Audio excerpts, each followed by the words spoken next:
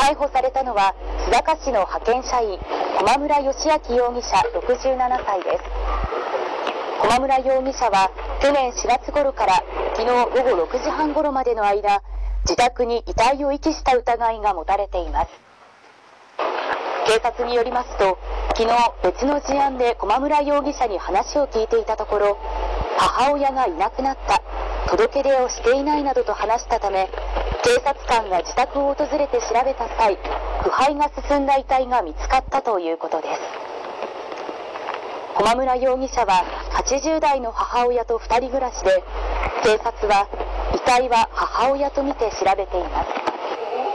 認否については明らかにしていません。ね、よく面倒見て買い物なんかも一緒に連れてったり